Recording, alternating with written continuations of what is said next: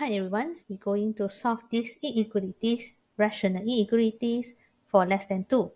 As we can see, we have denominator with modulus, so we can multiply it up to the right hand side because modulus always positive for whatever value x here. So we can simplify this question into both side modulus. But be careful when you want to multiply our denominator right to right hand side.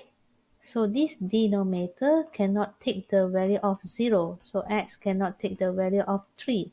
We have to exclude the number that can make our fraction become undefined.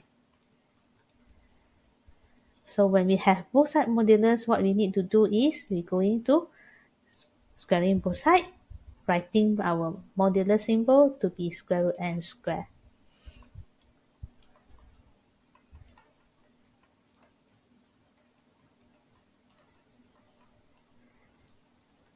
So after writing our modular symbol to be square root n square, to remove the square root, we square both sides.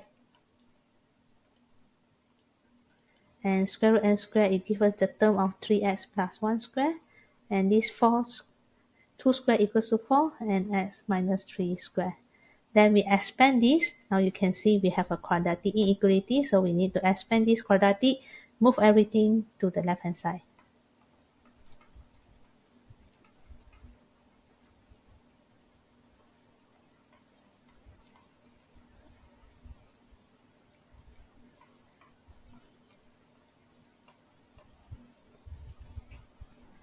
So when you move our 4 to the left hand side, minus become 5. Then become plus 24, 30, minus 36, plus 36. So this one positively. Plus 36, minus 36, negative 35. Less than 0. And we can see the multiple of 5 here. We can simplify our quadratic, divide by 5 Then we perform our factorize and draw the graph to find the region. So x we have negative 7 and 1 and then the region we want to shade is less than 0 so it will be below the x-axis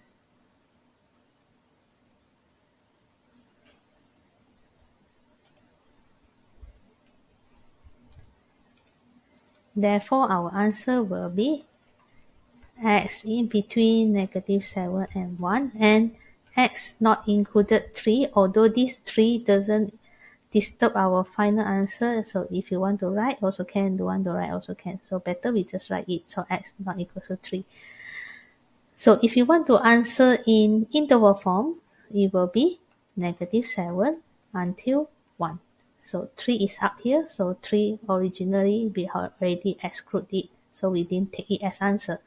So it will be negative 7 until 1. That's all for this.